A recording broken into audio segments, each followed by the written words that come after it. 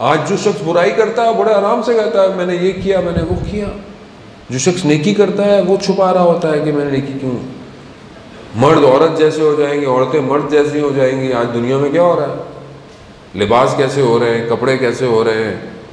Structure कैसे तबाह हो रहे हैं? फैमिलियाँ कहाँ जा रही हैं? प्रायोरिटीज़ डिफरेंट हो गई हैं। ये क्या है? आप ये मत समझें कि सारी चीज़ें मेरे घर में होंगी तो आखिरी ज़माना आएगा। नहीं, दुनिया में क्या हो रहा है? यहाँ हो रहा है, कहीं और हो रहा है, पूरी दुनिया में हो रहा है। जानवर की ज़्यादा रिस्पेक्ट है, इंसान की रिस्पेक्ट नहीं है आज पूरी दुनिया में। आपके सामने तो ये इतना ख़तरनाक दौर है और सबसे ज़्यादा जो प्रॉब्लम है इस टाइम जोन में, वो माइंड को है। माइंड को डिस्ट्रैक्ट करने के लिए पूरी कोशिश की जा रही है कि इमाम ज़माना से दूर कर दो।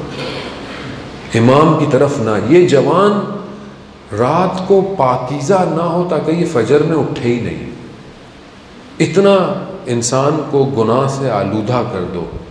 आज हर चीज़ हमारे हाथ में है। आज हम कोई, हमें प्रॉब्लम ही नहीं है। आज आप कुछ भी देखना चाहें, आप बटन दबाएँ, सब खुल जाएगा।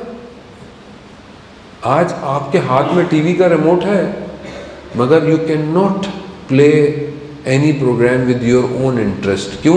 क्योंकि उसने आपको कंट्रोल किया हुआ है। वो आपको कंट्रोल करता है। आप थोड़ी कंट्रोल करते हो उसे। तो इस पूरे सिस्टम में हमारी कितनी प्लानिंग है? हम कितना स्ट्रक्चर डिज़ाइन प्लान कर रहे हैं अपनी फैमिली के लिए, अपनी नस्ल के लिए, अपनी औलाद के लिए। चाहे वो एजुकेशन हो, चाहे वो एक्स्ट्रा एजुकेशन हो, चाहे वो इनको बचाना हो बुराइयों से। जो अभी जवान बच्चा होता है, फिर जब वो कुछ करता है तो फिर हम सोचते हैं, अब क्या होगा अब तो पानी में डूब गया। उससे पहले हमने क्या किया उसके लिए? तो यहाँ पे पहली चीज़ कल्ब सलीम है। कि कल्ब सलीम कैसे आएगा? अजान मोहतरम, जब हम खुदा की बारगाह में गिड़ गिड़गिड़ाएँगे, गिरिया करेंगे। रोज मैं आपको बता रहा हूँ, आप यकीन करें, मेरा इतना तजुर्बा नहीं है, लेकिन मैं एक छोटा सा तालब इल्म हूँ। लेकिन मैं आपको बार बार रिक्वेस्ट कर रहा हूँ। आप थोड़ा सा टाइम निकालें और दुआए अबू हमजा उस्माली पढ़ें। जितनी पढ़ सकते हैं पढ़ें, उसका ट्रांसलेशन पढ़ें। आपको एहसास हो जाएगा कि है परवरदिगार, कि मैंने हया नहीं की, तेरे सामने गुनाह करते हुए।